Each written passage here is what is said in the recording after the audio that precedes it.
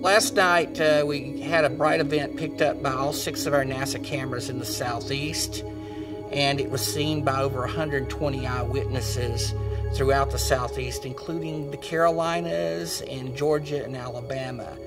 And this object was uh, described by many as having multiple colors and breaking up in pieces and stuff like that. Well, it wasn't a meteor. It moved too slowly. This thing hit the atmosphere moving between 14,000 and 16,000 miles per hour.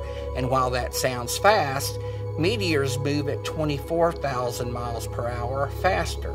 So it was moving way too slow to be a meteor, and the angle it hit the atmosphere was very shallow. It came in almost horizontal and that's not typical for a meteor either. So the speed combined with a shallow entry angle suggests that it was a re-entering piece of space debris or something like that.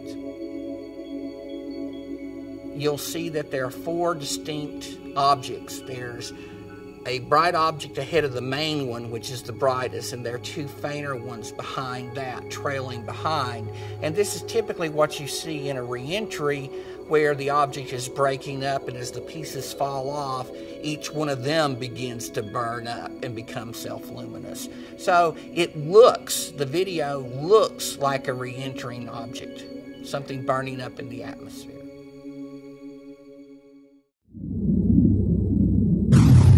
Space.com.